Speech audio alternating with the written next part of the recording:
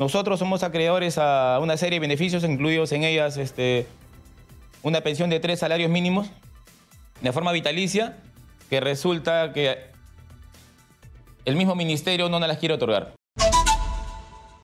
Y es increíble que la gente que, se jugó la vida por defender nuestra soberanía tenga que estar eh, eh, reclamando a estas alturas, después del tiempo transcurrido, que se cumplan los compromisos asumidos con ellos.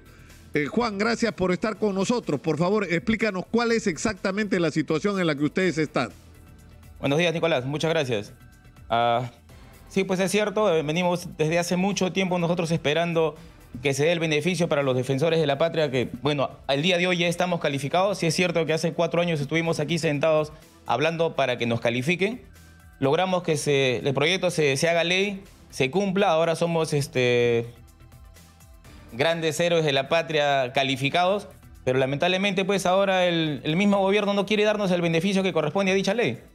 Nosotros somos acreedores a una serie de beneficios, incluidos en ellas este, una pensión de tres salarios mínimos de forma vitalicia, que resulta que el mismo ministerio no nos las quiere otorgar. El Ministerio de Defensa se ha manifestado a favor nuestro, dado que este presupuesto lo ejecuta Defensa, está a cargo de Defensa. Sin embargo, este Defensa está apto a darnos el beneficio, pero no puede cumplir con ello. ¿Por qué? Porque no estamos en el aplicativo de planillas del Ministerio de Economía.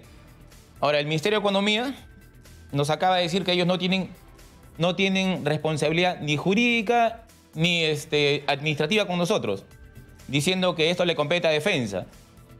Pero no es así, pues, este, Nicolás. Resulta que en el año 2019 salió, salió una ley de, la ley de presupuesto en la cual dice que los nuevos defensores de la patria que no están inscritos a fecha 6 de diciembre de 2018 no pueden, no pueden acceder a este beneficio, poniéndonos en una clara situación de discriminación con los ya calificados de hace muchos años nos ha hecho, nos ha hecho dividir en dos, los, defensores de la patria que gozan del beneficio y los defensores que no gozamos del beneficio.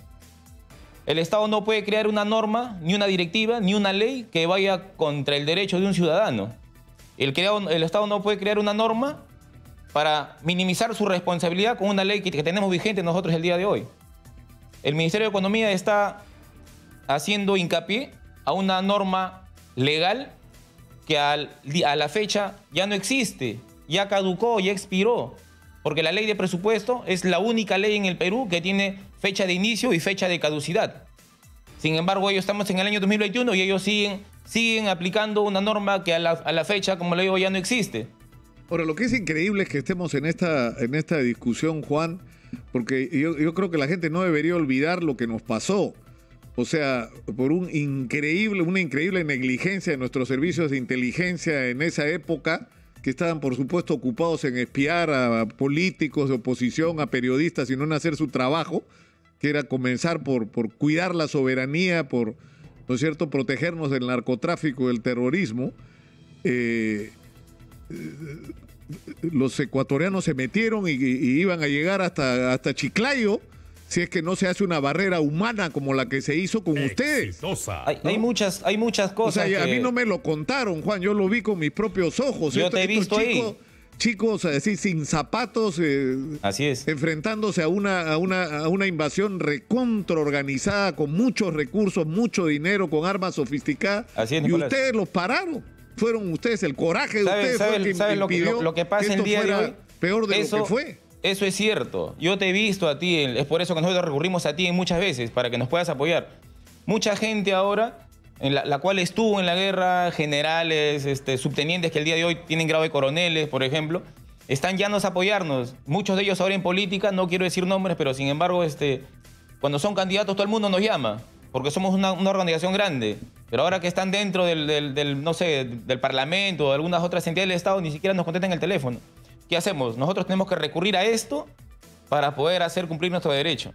Nosotros somos cientos de, calificados, no somos miles, somos cientos. Ahora, nosotros hemos, hemos, tenido que judicializar nuestro caso. ¿Por qué? Porque administrativamente ya nos han denegado el beneficio. Y esto pues eh, es a la vista una discriminación entre un soldado y otro. Porque no es posible que un soldado que estuvo conmigo, un compañero que durmió conmigo, vistió conmigo, caminó conmigo, cargó un muerto conmigo, el día de hoy él, recibe el beneficio y nosotros no.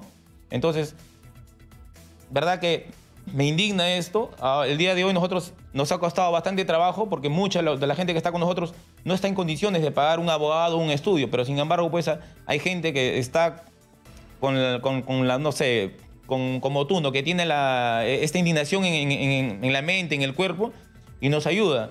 Pero aún así pues este todo esto tiene un costo y nosotros no estamos para, para costear esto. Lamentablemente somos ingratos y no deberíamos serlo. Y, yo creo que ahora que se habla de cambios, esto es un cambio que debería producirse, ¿no es cierto? Lo único, ser agradecidos y, reconocer a gente que se fajó por el Perú. Lo único, Nicolás, que te, que te quiero pedir que lo hagas público es que el Ministerio de Economía solamente tiene que abrir el aplicativo para los nuevos defensores de la patria. Ese aplicativo está cerrado para nosotros, cuando debería estar abierto. Tenemos una ley vigente la, 8, la 8074, esa ley en la cual en el 2023 se cierra. El, el año 2023 ya no va a haber ningún calificado más, se va a cerrar.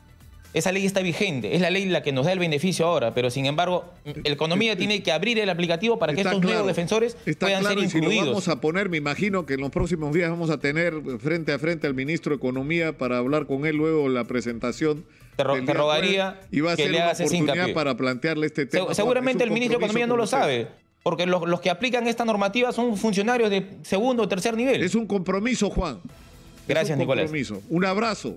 Gracias, Nicolás. Un abrazo y una pena reencontrarnos en estas circunstancias. Un abrazo. De igual manera. Muchas gracias, Nicolás. Que tengas un buen día.